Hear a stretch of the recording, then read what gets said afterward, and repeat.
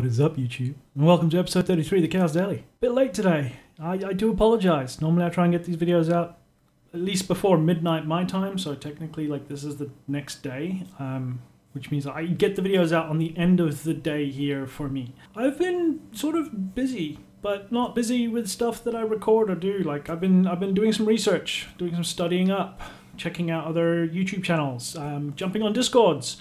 I've been trying out a couple of different Discords to find a few communities where I'm allowed to share my stuff because apparently one of them that I joined I got banned because I was not allowed to share the work that I do in a 3D printing community about 3D printing.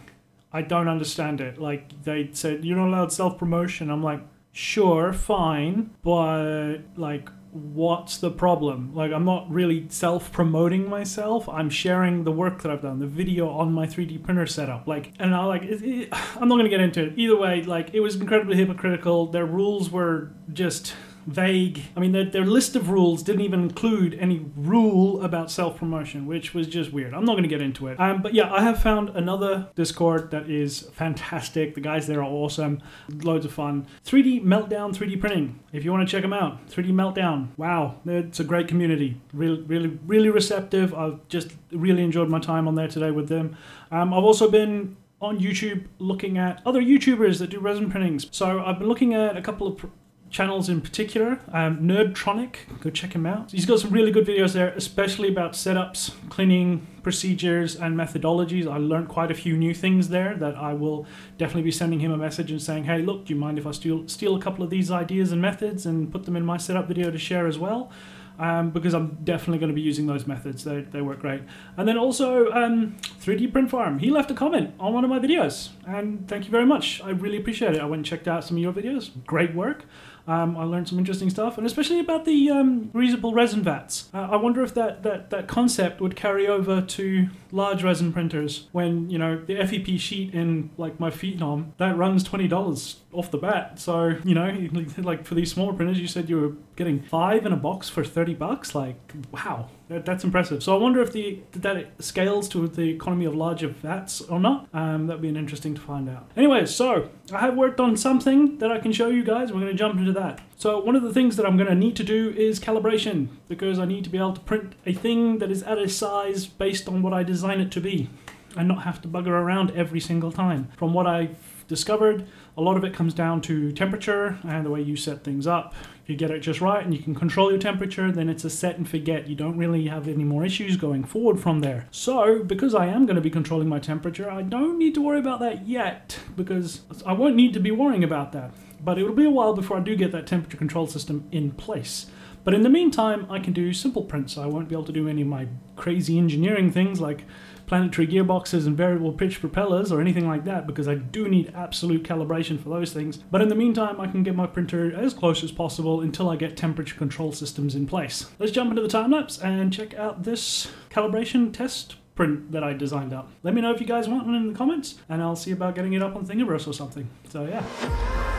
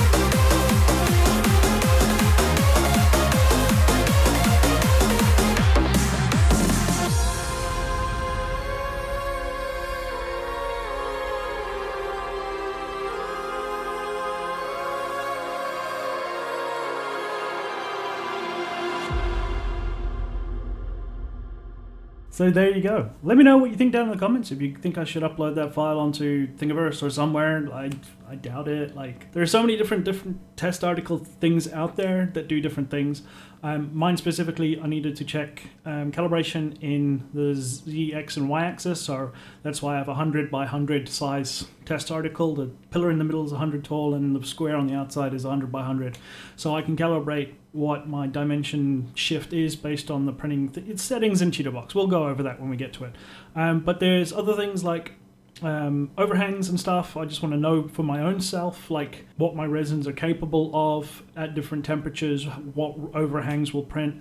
But more importantly, I have some thin wall tests. So one of those walls there is 0.25, so a quarter of a millimeter, and I would very much like to see how how that handles. Like, is that super brittle? Is it got a bit of flex? Does it bend? Like, what does that kind of thickness of skin do?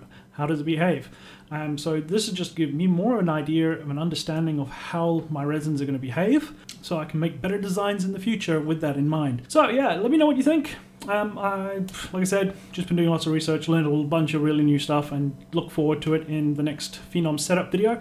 And uh, yeah, so that'll do it for today's episode. Hit the like button if you haven't already. Make sure you subscribe if you're not. I'm in chaos, and as always, expect the unexpected. I'll see you guys next time. And a special thank you to all my patrons that help support the channel.